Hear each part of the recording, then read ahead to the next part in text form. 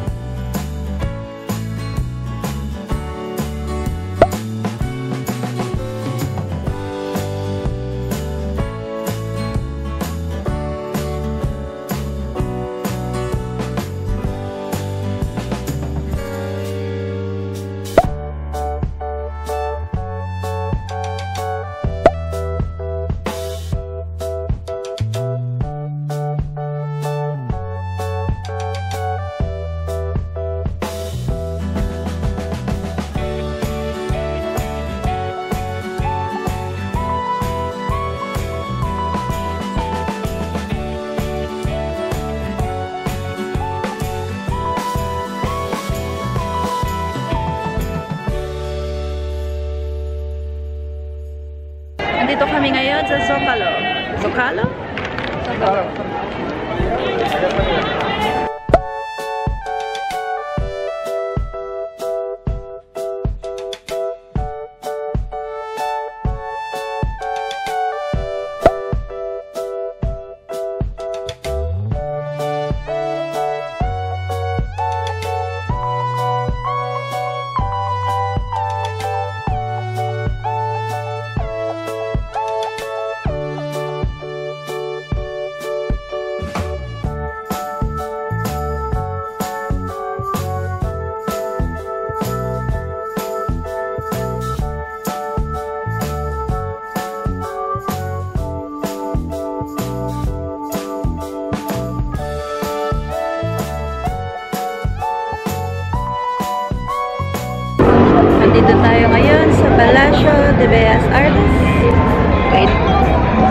Tama, Palacio de Bellas Artes.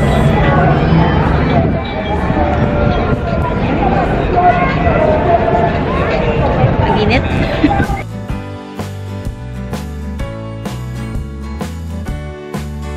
Hola! Andito na ako sa hotel. Nakabalik na ako dito sa hotel.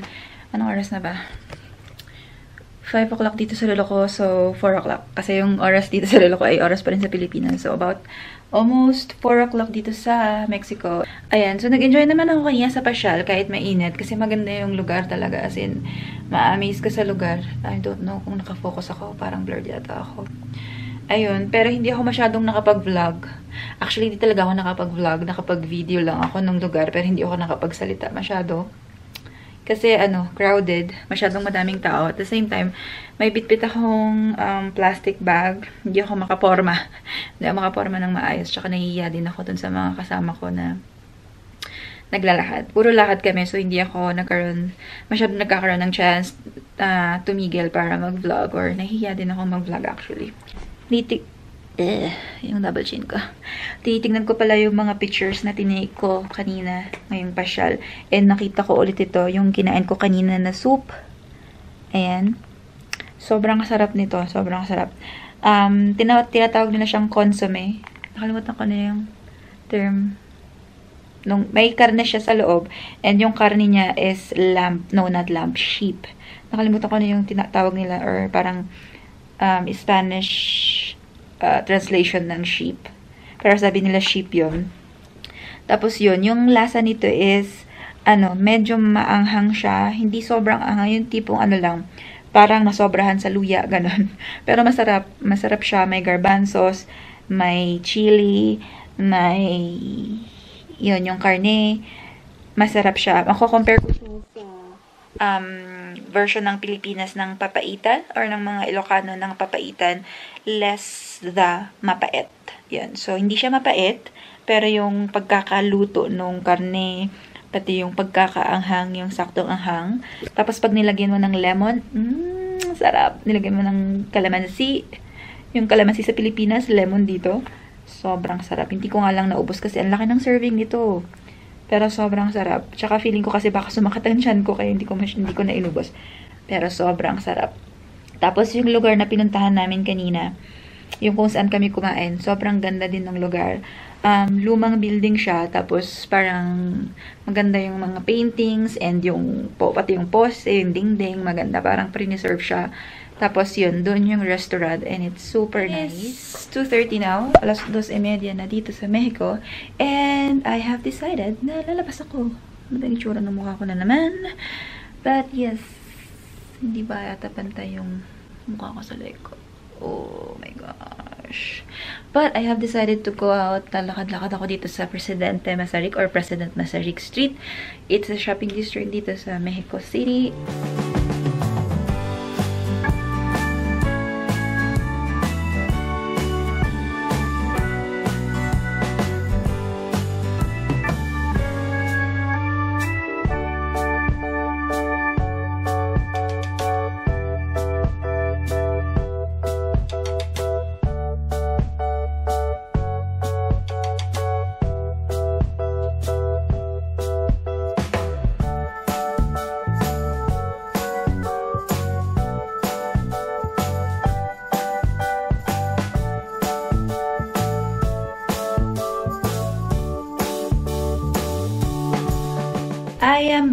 Dito sa hotel and I am alive.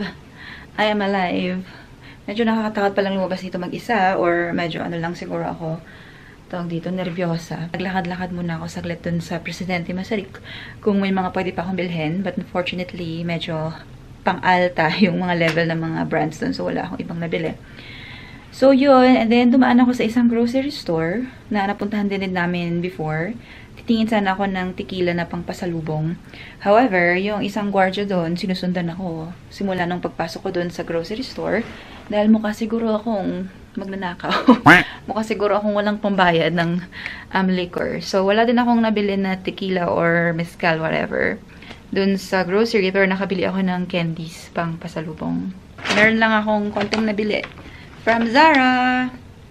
Ayan. And then, yung nabili kong candy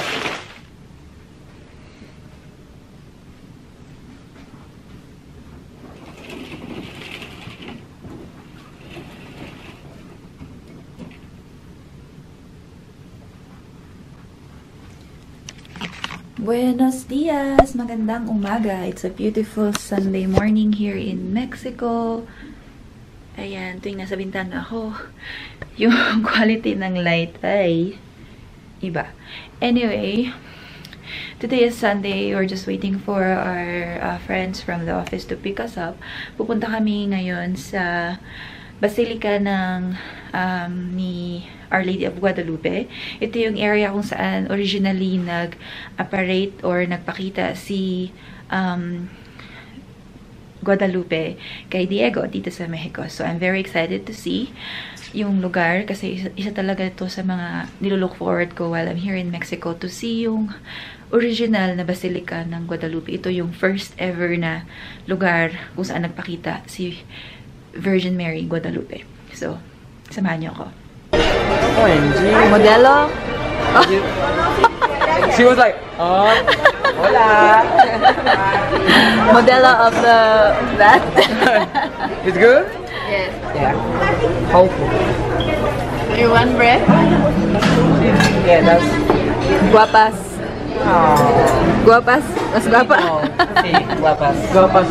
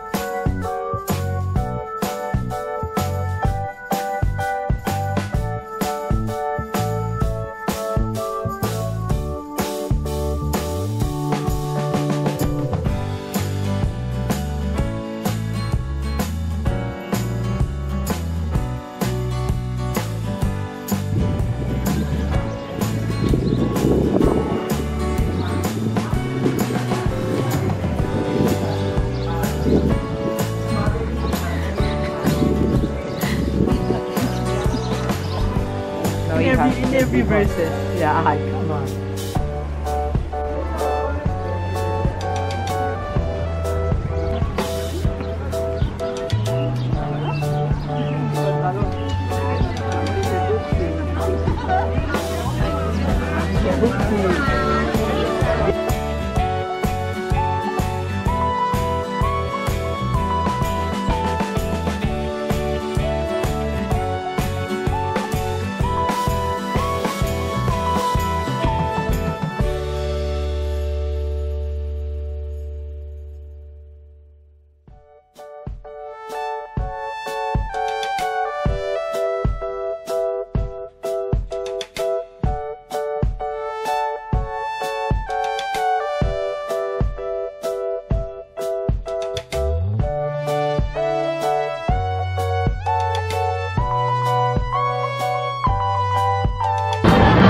Hola, chicas! Hola! Hello, my We're the most amazing people from Mexico, okay? See? All the features. Oh,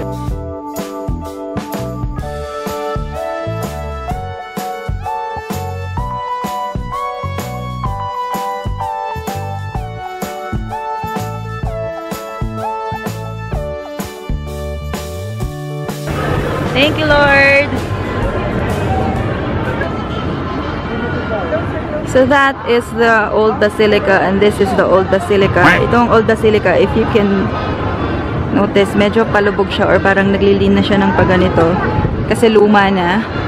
So they had to build a new one. Pero this one is really beautiful inside. Nakapasok kami kanina. But yes. Again, that is the new basilica. This is the old one, the original one.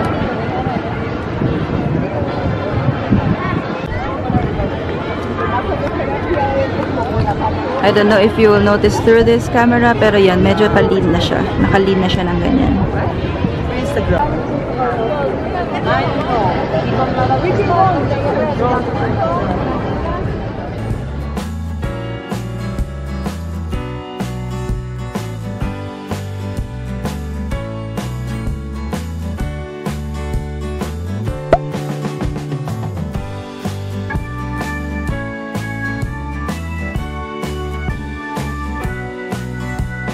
Hola, mi amigas, mi amigos. I am back dito sa hotel. So, yun, galing kami kanina sa Basilica ng Guadalupe and it's very, very, very nice. It's very pretty. Ang ganda-ganda ng lugar. Ang ganda ng simbahan. And I feel so blessed to be able to visit yung original na Basilica ng Guadalupe. So, I don't know if narinig dun sa video na kinuha ko kanina, pero dalawa na yung Basilica ngayon, yung luma at saka yung bago. Yung luma, um, I think lumulubog yung kinatatayuan ng simbahan. So, they have to build a new one, which is yung parang mas modern na itsura ng simbahan, yung pa-circle. Pero yung luma, ang ganda. Pero pagpasok mo sa loob, parang um, leaning down na yung, pati yung flooring niya is nakaslant na. So parang, parang kang nag-hike ng konti, ng very, very slight. Parang tabingi na yung floor sa loob. So, mararamdaman mo na parang tabingi na din yung simbahan. And I don't know if malinaw din dun sa video ko kanina, pero nakikita na medyo palin na yung simbahan. Yun. Pero maganda pa rin, super nice, and I really, yun nga, I feel so blessed to be able to visit yung lugar kung saan talaga nagpakita si Virgen Guadalupe kay Diego. But, yes, so that is our Sunday. So, may misa din kanina nung nakarating kami doon. So, kahit papano, nakatend ako ng Mass in Spanish. And, yun. Well, it's about, anong oras na dito? Alas 4 na ng hapon. Yun. So, I think that is it for today. I think this completes my Mexico trip. At least for dun sa mga places na gusto kong puntahan dito sa Mexico. Mexico. Mexico. And I'm really, really happy. So, yeah. Thank you, Lord. Thank you to my company. And thank you, Lord. It is 6.30 here now sa Mexico and I am really hungry. And, yun, nagugutom na ako so nag-order ako ng room service.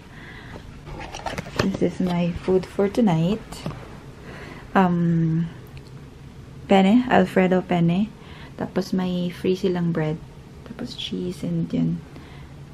Salt and pepper. Just want to show you um, my view for dinner. This is Mexico City. Yan. I just hope that I was able to capture yung ganda ng Mexico City through my videos na mga film ko the past weekends. So, yeah, I'm happy to be here, but I'm also happy to be going home this weekend. But, kakain muna ako and then I'll probably go to sleep now after drinking my cerveza or my beer because gusto kong tikman yung isang bote ng beer nila. But, yeah, that is my Sunday. Bye!